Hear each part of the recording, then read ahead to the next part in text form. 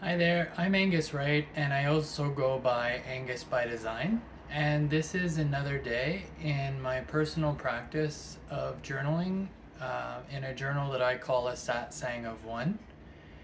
And essentially, what I do is I start my day um, with an episode of the Ram Dass Be Here Now podcast.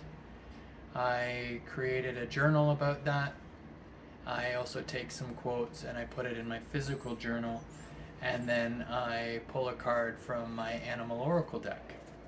And all of this is part of my own personal uh, wellness recovery action planning and part of my own daily maintenance as it relates to me and my personal well being. So uh, I love today's episode. I love all the episodes, to be honest. But today's episode was the importance of social action, and that's something that touches my heart. So the first quote is called All Thoughts Towards God. The key is karma yoga. In karma yoga, you take what is in front of you as you step towards God. And that's Ram Dass. The next quote is called Protesting from the Heart. Social action is not when you are doing something to somebody, but it is when you and the person you are fighting are one. You see the person who you are fighting as a soul manifesting their karma. You should relate to that person as a soul and not to their karma.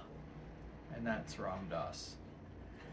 And the next quote is called Service and Surrender. In the old days, I went out to go to bedsides and do speeches and to do social action. Now I don't leave Maui, my island paradise. Now people come to me on retreat and work with me over Skype. I transmit my soul to them. I transmit peace and love until the mirror effect causes them to look and identify with their soul. And that was Ram Dass. And then the last quote is called Selfless Action. And these days, what I experience when I am helping Maharaji convert egos to soul, and I'm not doing it for me. I'm doing it just to help Maharaji. And that's in reference to aligning Dharma which is sort of like life's purpose, and aligning soul with his guru. So Maharaji was um, uh, Ra- like uh, Ram Dass uh, considered him a guru and a, a, spiritual leader in that in that sense. Um, so I love that. And I'm basically going to take that energy I'm going to transfer it into the cards. Um, so I, as I do this, I'm reflecting on what I heard in the podcast. I'm reflecting on the conversations and the discussions about how protest has worked over the years and how it relates to now. Uh, something that stood out in that uh, podcast is in, in reference to not seeing the other person for their karma, but seeing them for their soul. Um, Ram Dass had sort of described uh, that he had added the president, then Trump.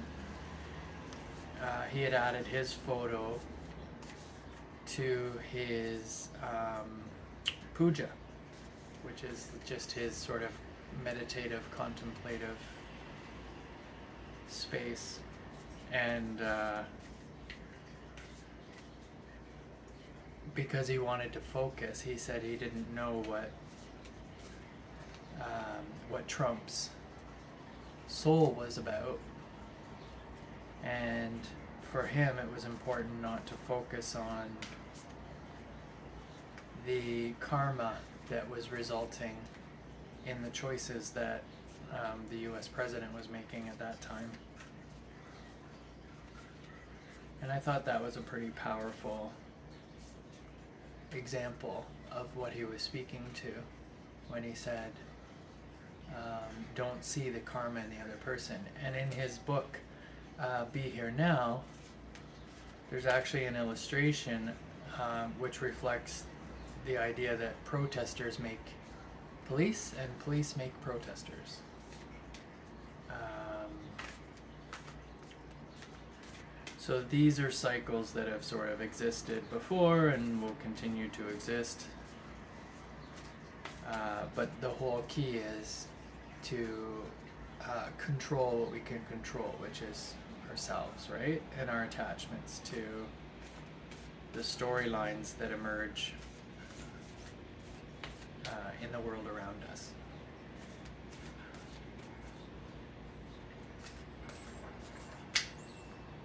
Yeah, I think that's the card right there.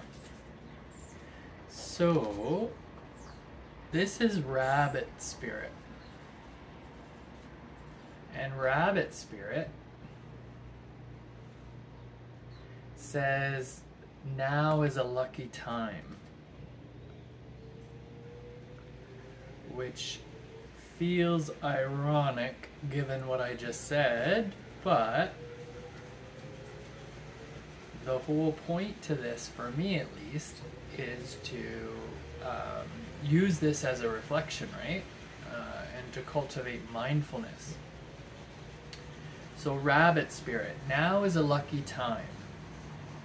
The oracle message a sunny meadow calls and rabbit spirit appears to lead you out of your dark warren and into the light so that you can participate in a fertile and beautiful experience. It may seem safe below ground, but the magic happens when you come out and take the risk of being vulnerable and co creating something new. You are being invited into a new life that you have no experience with, but have no fear. Today is also a time to be fruitful and productive as you enjoy Rabbit Spirit's sunny and prolific energy.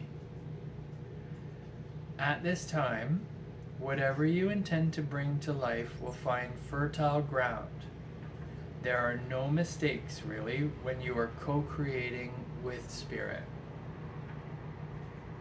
So let the new ideas spring to the surface, knowing that now is a lucky time of tremendous possibility. And then the protection message in this card. Vulnerability is required of you now, even if you don't feel safe. Act as if you trust that you will be okay. And soon you will see that you are okay. To create is to take risks at this unfortunate. So, wait. To create is to take risks. So, at this fortunate, fertile time, Banish your fears and recognize the real security is in immersing yourself in the process of co creation. It's okay to admit that you don't, that you really don't know how to deal with whatever is in front of you. This is where curiosity and not knowing can be a wonderful state of mind. Be playful now admitting you are at the beginning of something. Come on, out to frolic in the sun's nurturing light. because it is time to birth something new. I love that. Uh, I love that message, and of course, I say that, of course, every uh, after every time I read one. But for me, in my own personal journey, in my own personal path, it really does seem to fit in. Um, what strikes me about it is the message about uh, what feels like darkness, right, and coming out into the light. Uh, if we're thinking about like a rabbit and how a rabbit kind of tends to um, burrow and, and hide. And so the idea is that now that the sun is shining, now that spring is here, it's a time for renewal. Um, you know, in, in the podcast, uh, Raghu Markus, his son Noah, had been referencing how he could only sort of see the darkness, right? So to me, in a sense, this card is in response to the energy that was in that podcast. Um,